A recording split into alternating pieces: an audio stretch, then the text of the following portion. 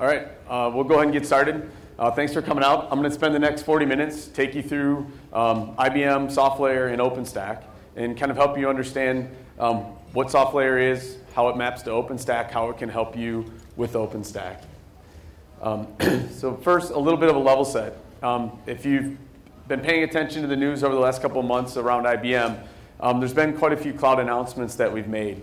Uh, starting kind of at the top, and the most recent announcement was the IBM Cloud Marketplace. Um, the IBM Cloud Marketplace is a set of kind of high valuable consumable services that you can get, um, both from IBM and from third parties, right? So that's kind of at the, the top level of the stack. Uh, step below that, from a platform as a service level, is codename Bluemix. Um, codename Bluemix is our Cloud Foundry based PaaS environment. Um, if you go out to bluemix.net, you can sign up for the beta. I believe that was announced back at the end of February, but that's the platform as a service offering that is built on top of IBM SoftLayer. At the very bottom um, of this stack is SoftLayer and OpenStack. Um, OpenStack is what we use on premise. All of our cloud based products on premise are, are based on OpenStack. Our public cloud offering is from SoftLayer. SoftLayer is a company IBM acquired last summer.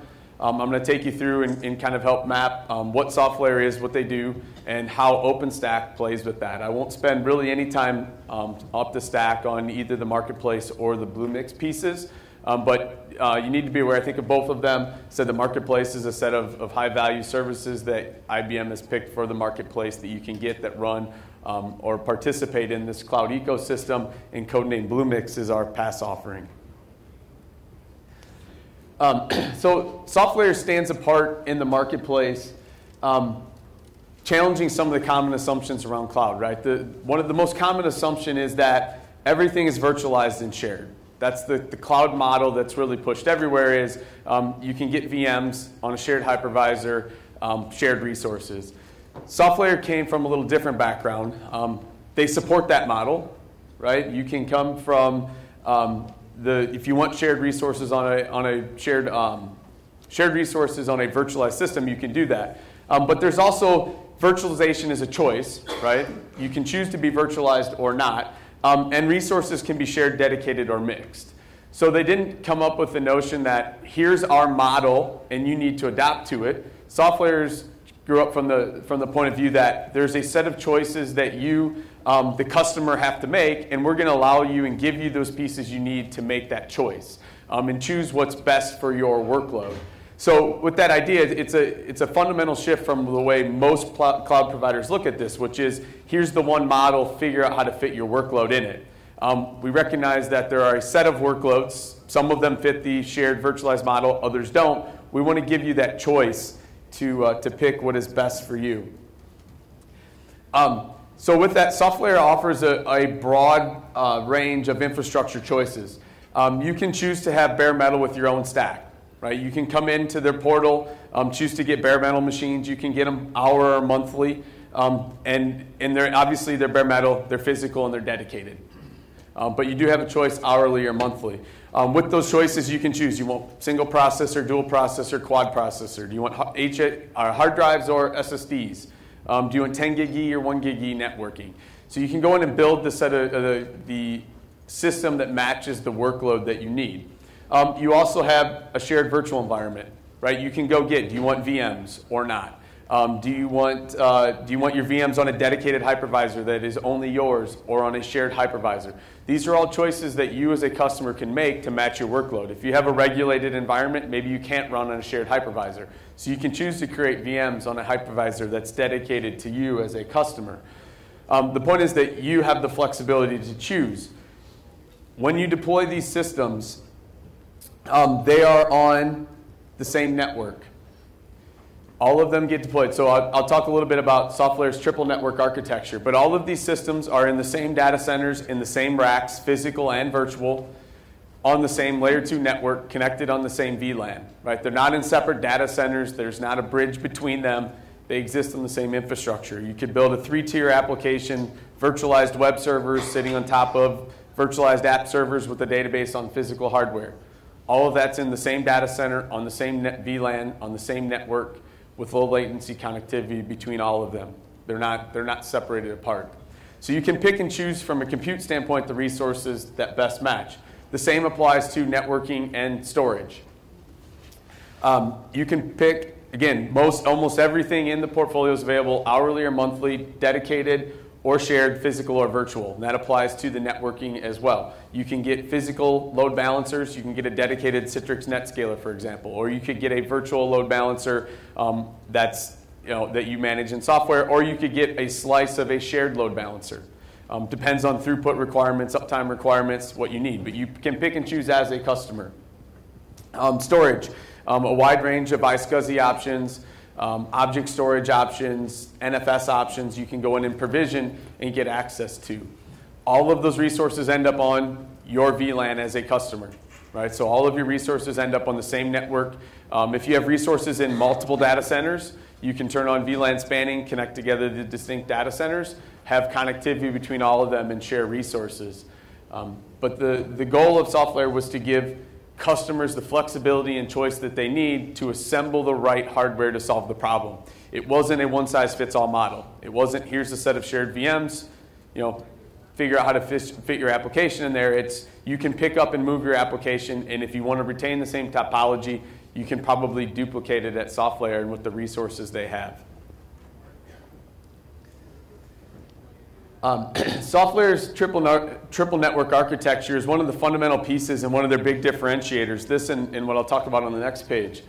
Um, each one of their systems has the ability to connect on distinct interfaces to each of three networks. Um, the first is a public network. The public network is metered access to the public internet. Um, if you're on this network, you get a public IP. From the outside world, you can hit it, assuming you haven't set up a firewall or something to, uh, to protect it. Um, but it would be publicly accessible. Anything coming in and out of this interface is metered. The second network is the private network. This is, gives you unmetered access. Anything on the private network is free. Um, inter, inter data center, intra data center, doesn't matter. Um, if you're sending it between data centers, as long as it's on the private network, you will have unmetered access. Um, this also applies to like Ethernet handoffs in a POP. If uh, I'll show you in the next page some of the SoftLayer POPs. Um, if you take like a 1 gig E, 10 gig E handoff in, an, in a POP to the SoftLayer private network, you have unmetered access direct from your private network onto the SoftLayer private network. Um, this is the, the private network. Um, SoftLayer owns their own private network. I'll talk a little bit of that, a, a little bit about that on the next page, um, but it's helpful to understand the latency and stuff between these is very consistent. The third network is the out-of-band management network. Um, you connect to this via VPN. It's distinct from the other two networks, gives you access to like IPMI functions, a lot of the management functions. Um, this is a separate VPN network that you connect to, really intended for administrators, um, recovering systems, managing systems, but it's out-of-band management.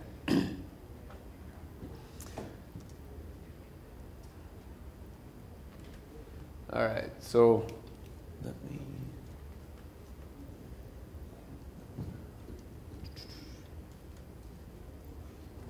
Start the slide over. There we go. All right, um, so SoftLayer has a global footprint.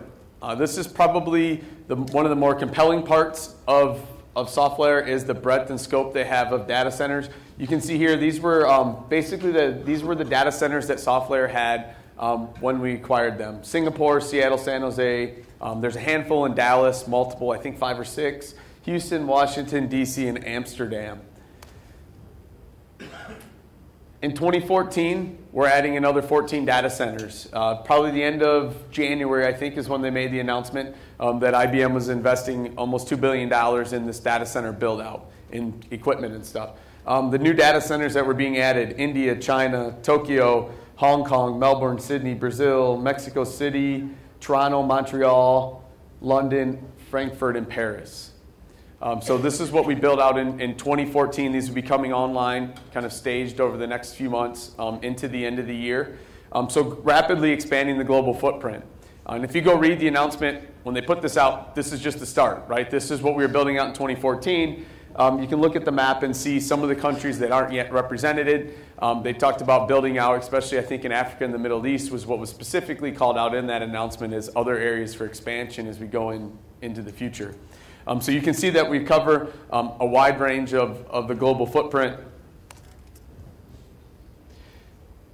Overlaid on top of that, there's a handful of POPs um, in the U.S. Each, in, in, addition to each data center being a POP, you can also take a handoff in Los Angeles, Denver, Atlanta, Miami, New York, Chicago. Right, those are facilities where you can take a direct handoff onto the SoftLayer private network and get access directly to your resources in an unmetered fashion. Um, in addition, SoftLayer owns their own global fiber network. All of these facilities are connected by a network owned and controlled by SoftLayer. If you want to go from one SoftLayer facility to another, it will be entirely on fiber owned and controlled by SoftLayer. Um, and this is important when you look at network latency and consistency, right? Um, if you had to traverse the public internet to cross between any of these data centers, the reliability of the connection, um, the consistent latency and stuff really is hard to come by. Um, you'll see this especially in other cloud providers if you try and cross between data centers. A lot of times you'll end up on links that cross the public internet um, and your latency can, uh, can be impacted. SoftLayer does own their own network. Um, they, they have their own peering agreements. They put all of that in place.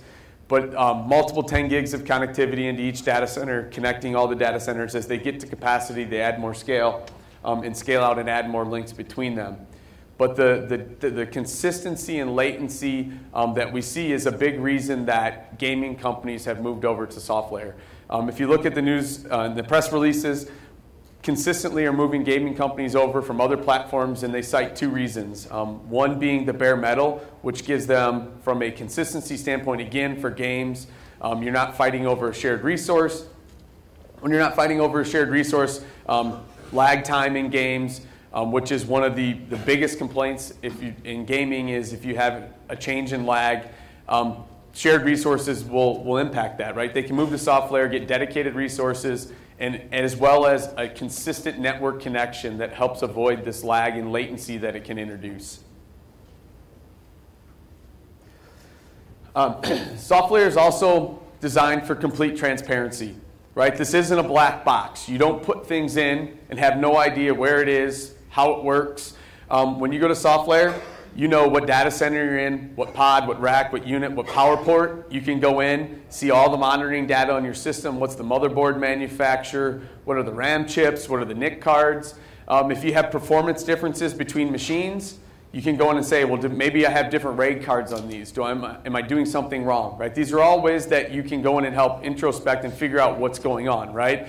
Are you having networking issues? Look at the uplink path. What switch am I on? Which router am I on? Right? This is all laid out for you in their portal. Right? No longer is it a black box where you go in, you put something in, and if it doesn't work right, you have to kill it and start over. Right? Um, you can go in and actually figure out, right, is there something I'm doing wrong? You don't have to start 50 VMs and find the 10 best performing ones because you, you know, it's just, it's a box. Um, in addition to that, you have audit trail of everything that's happened, right? Who's accessed things when, who made what changes. You can pull all of that up in the portal. So this gives you a level of visibility and control that isn't really possible in a lot of the other cloud providers. Um, there's also predictable billing, right? One, there's no long-term commitments. As I said, everything's available hourly or monthly. Um, the longest commitment is a monthly system. Most of the bare metal systems where you're doing configuration, if you want GPUs, SSDs, are available by the month. Fairly standard configs where you just want CPU, RAM, and some hard drive are all available hourly. Um, but there's no surprise usage fees. Um, you order what you need, pay for, pay for what you use, hourly or monthly contracts. Um, there's no charges for inbound or private connectivity. You can send data into the public on the public interfaces with no issue. Outbound is, is metered. Um, outbound bare metal systems come with 20 terabytes. Virtual servers come with five. Um, pretty good amount of traffic out before you get into any charges. And support is included at no extra cost. Um, there's contact. You have, um, you can see there, ticket, chat, voice. Um, the, the ticketing system is probably the easiest one to use, 15 minute response times. Um, if you have an issue, you need something done, you can open a ticket, get it done, and move on.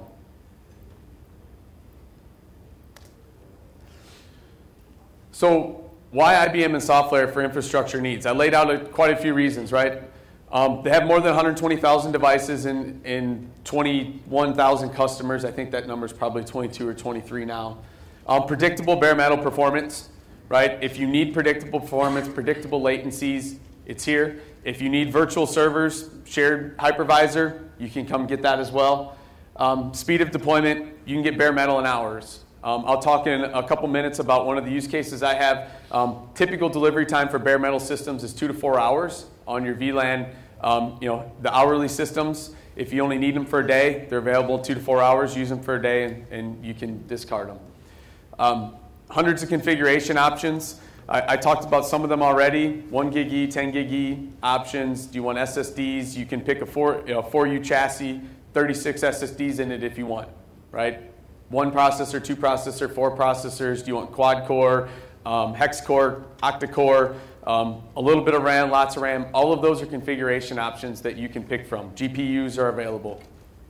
Um, and the, the last stat is, is somewhat interesting. There's more than 130 million online game players at SoftLayer. Um, if you go look at, at the time we acquired SoftLayer about a year ago, they had talked about moving over like 60 new gaming companies in the first half of the year alone, strictly because of the predictable performance and latency which was required. So, so the real question is, what does this have to do with OpenStack, right? Everybody, we're at an OpenStack conference. Um, SoftLayer today their infrastructure, underlying infrastructure is not built on OpenStack. Um, they had a platform in place called the Infrastructure Management System that they had built back starting in 2005, long before OpenStack was around, that did all of the automation of both bare metal and virtual servers.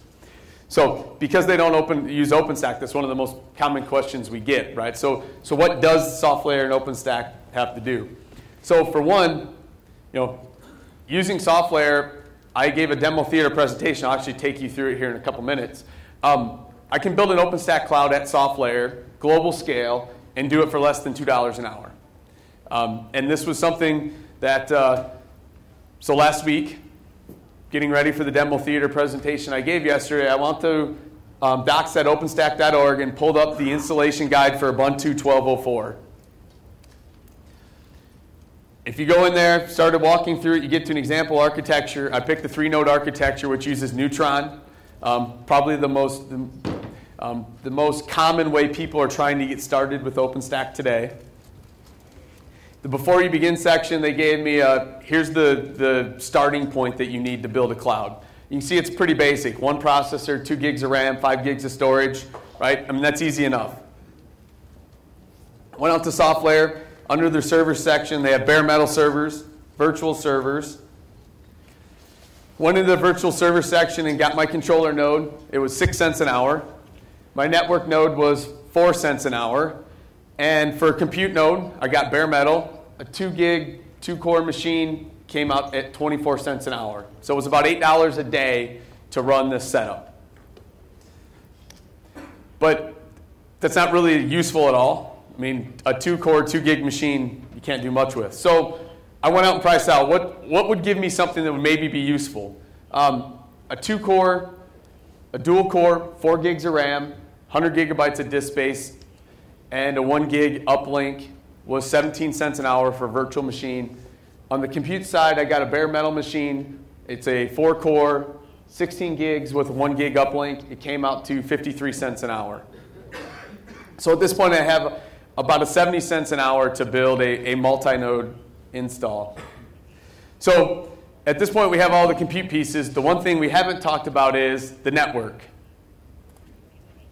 So if you looked at this picture, Neutron requires three different networks. There's the management network, which is for hypervisor to hypervisor communication. There's a instance tunnels network, which is what connects your guests together. And there's this external network, which is how you get from the outside world into your guest, right? Well, the management and the instance tunnels are very easy, right? That's the private network at SoftLayer. That's how it connects my VMs together, and that's what connects my hypervisors together. That was the one gig E link that I, uh, that I talked about earlier. Um, I could have easily done this if I wanted to with 10 gig links. Um, I didn't, but I could use 10 gig links on the private interface, and all of the, the management and instance tunnels would be over that 10 gig link. But what about that external network? So I went to SoftLayer. They have the concept of um, you can order subnets.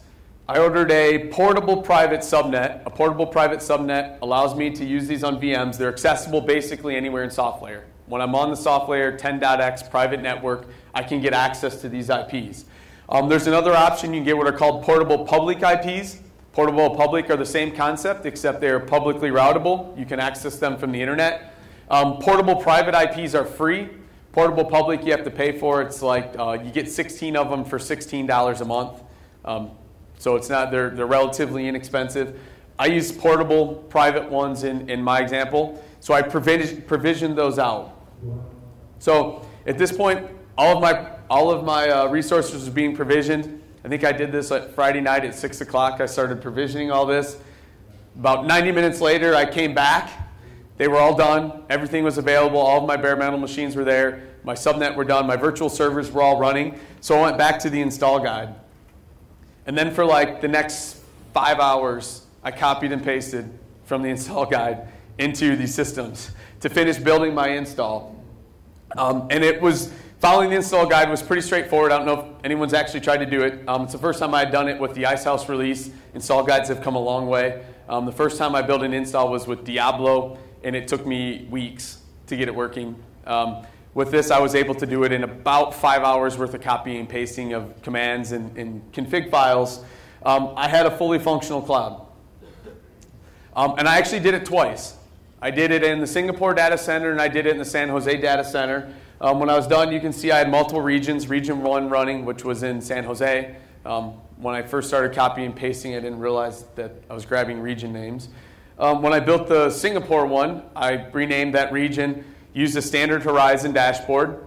Um, Horizon, I had a single keystone. I put keystone in my San Jose region, um, set it up, and used so one keystone. That keystone in San Jose served the um, region I had running in Singapore Start to finish, getting both of these data centers up and running took about nine hours.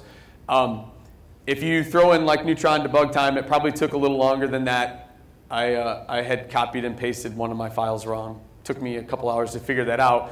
Um, but it was about nine hours to get this all up and running. Um, total cost of this install to, to be able to get started in OpenStack was less than um, about $10, or I'm sorry, less than about $2 an hour.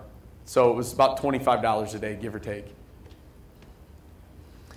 Um, so really, SoftLayer, if you're looking to get started in OpenStack, SoftLayer gives you a really easy way to do that, right? You can go out there, a new install, right? If you're just trying to get started with OpenStack, that's what I was doing this weekend.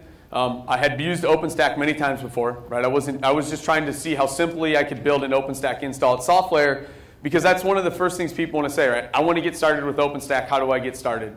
Right? Especially if you're in an enterprise, um, it typically means somewhere you need to find hardware, you need to get the network reconfigured, you need to get access to VLANs or something. Um, here's a way you can do it that allows you to do it very easily, very cheaply. Get started with OpenStack and understand how it fits. Um, I built a sample config here for $1.19 an hour. That, that's a fairly usable install. Um, but if you also, let's say um, if you're trying to build like a hybrid region or something, you could go get some of these custom configs from SoftLayer. Talked about it, 1U, 2U, 4U boxes, how many hard drives do you need, GPUs. All of those things allow you to go out and build a custom install and add it to an OpenStack cluster. Um, you know, I talked to the GPUs and stuff. If you want to try and figure out how do some of these features in OpenStack work with custom hardware, go provision in SoftLayer and try it. Right? You don't need to go buy GPUs um, or anything like that and figure out how to get them in your data center, go rent the capacity you need and see if it works. But more importantly, if you start at SoftLayer in the small config, you can grow into a full production install without starting over, right? I started with machines by the hour. But you can imagine saying, wow, this worked out well. I might as well go get some machines by the month because I'm going to stay here for a while adding to that same OpenStack cluster, and over time taking those hourly ones out of the rotation and building an entire infrastructure on just like hourly machines, supplementing them with bare metal. Right? I don't have to reconfigure my environment to do that. I can start and move into bigger systems and do that gradually as it's needed.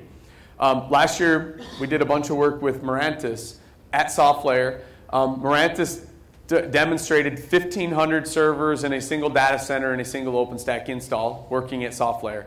Um, so you can see how you can go from right, a couple systems and getting started, let it grow organically, get people using it, figure out how it works, and continue to add capacity to this and not have to worry about scale. They also had 75,000 VMs running in a multi-data center OpenStack install. They used, I think, San Jose and Dallas, um, had a multi, had control plane on each side, and had 75,000 VMs running. So I demonstrated, yes, I can get started very easily, right? Inexpensive, go out and figure out how it works. But it's not a dead end. You can grow this install and make it work, and we have the proof points to show that it is possible.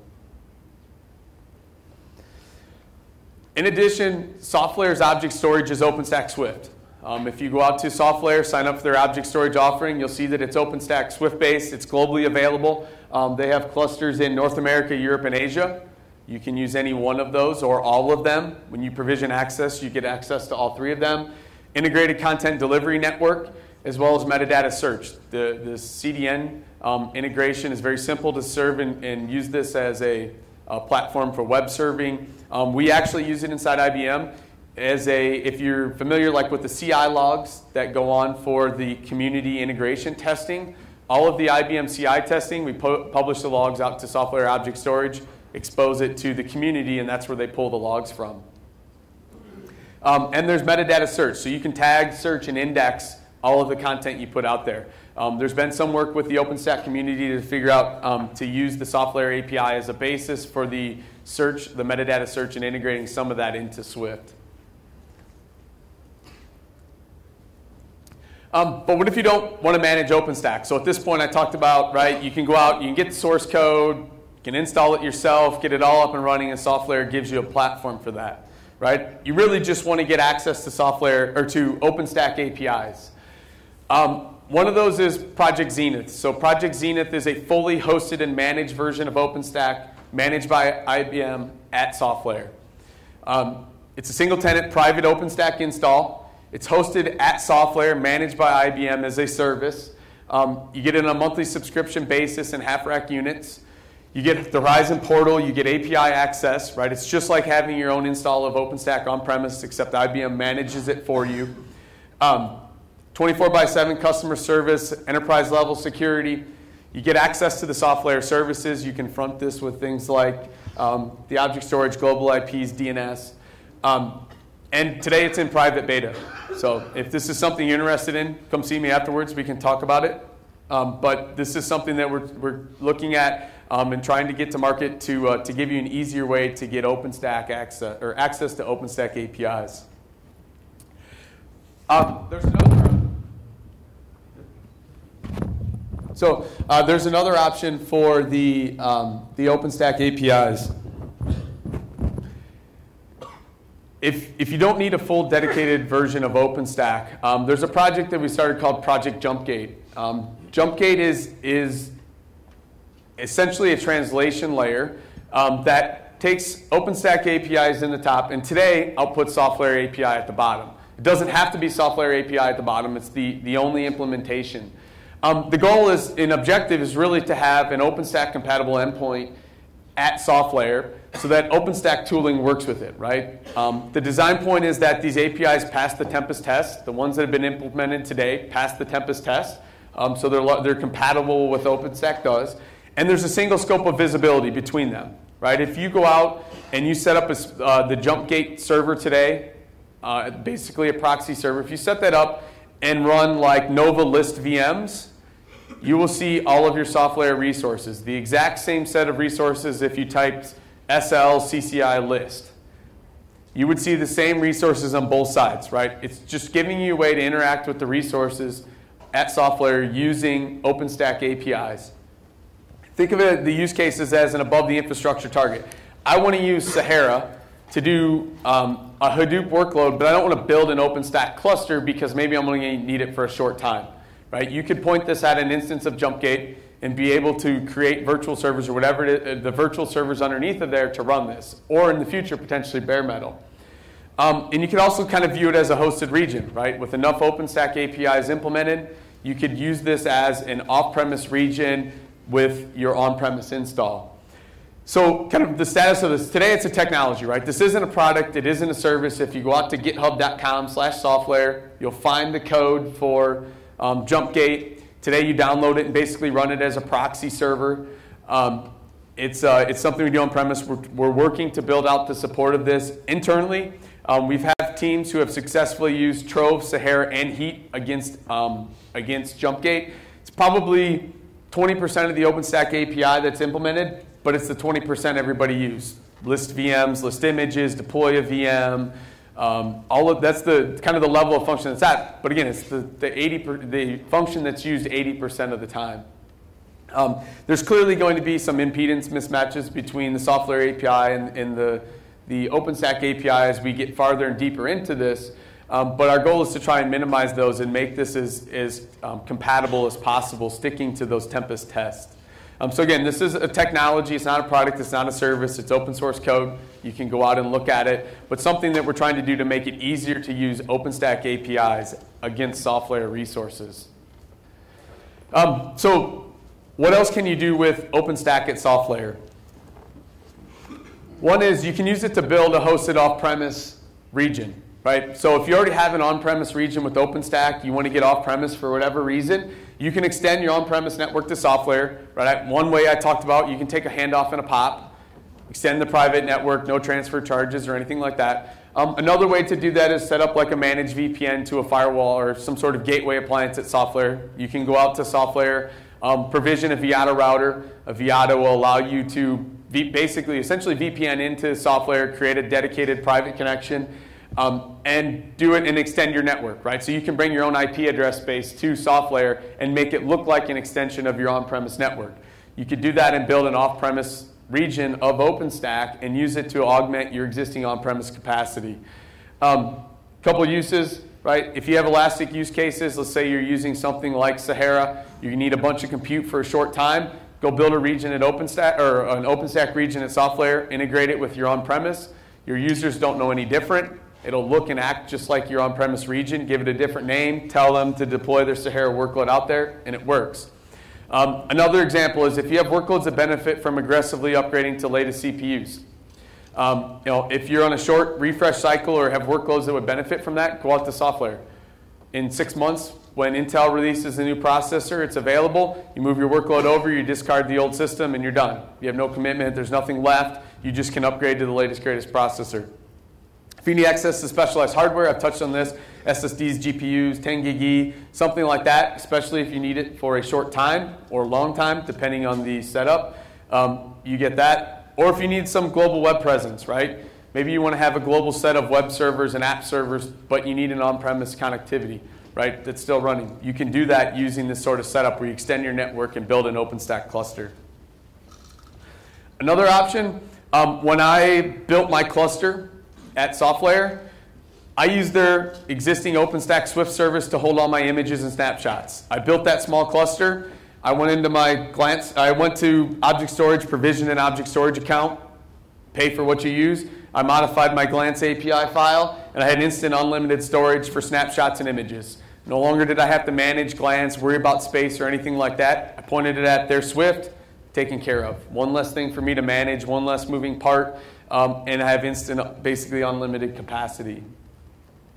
Um, you can also use serve kind of their, their iSCSI volumes natively to VMs running in, in OpenStack.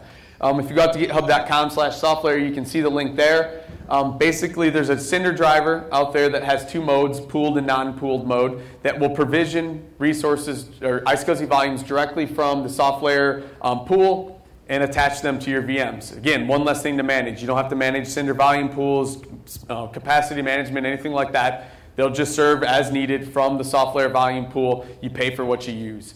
Um, the, the pooled driver is that it, it will basically reuse volumes, just shred them, um, and, and reuse them in the future. You can tell them, you could go pre-allocate a pool. I only want to pay for 50 volumes. You create that, that pool of volumes, and it will never create any more. If someone tries to provision and they're out of volumes, it'll just say, hey, we're out of volumes. It's one way, you, again, you can keep kind of control of cost. Um, again, instant volume, unlimited volume space. If you need it, no management necessary. One caveat is cloning a volume is slow because there's no native clone support. Snapshots are fast, clone is not. Um, so with that, IBM technical sessions that are left, left this week. Um, there's one this afternoon. Um, tomorrow we have three more of them. I encourage you to attend if you can.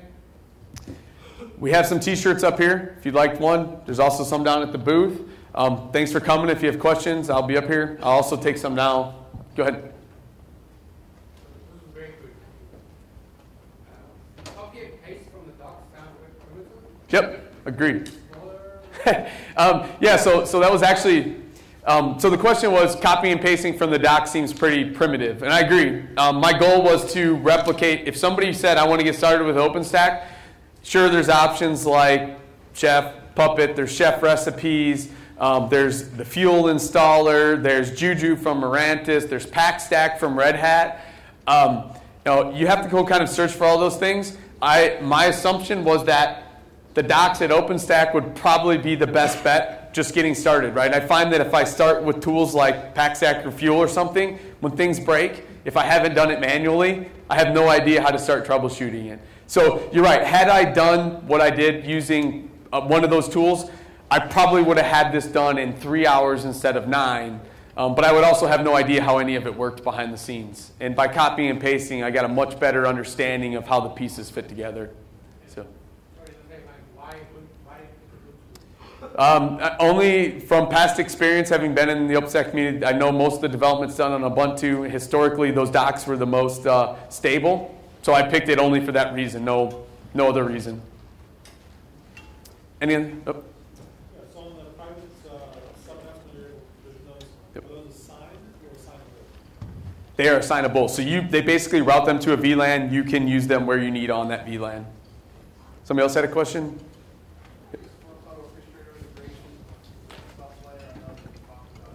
So the question was, is there any smart, smart cloud orchestrator um, integration with SoftLayer?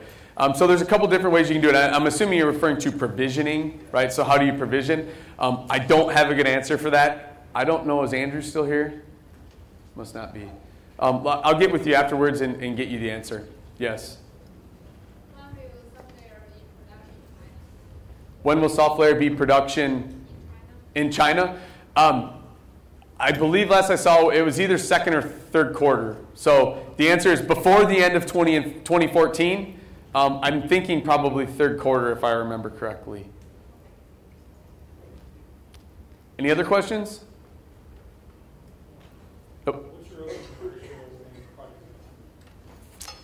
Um, so with Project Zenith, right, it's a dedicated environment. The overcommit ratio would really be up to you as a customer. Any other questions? All right, thank you.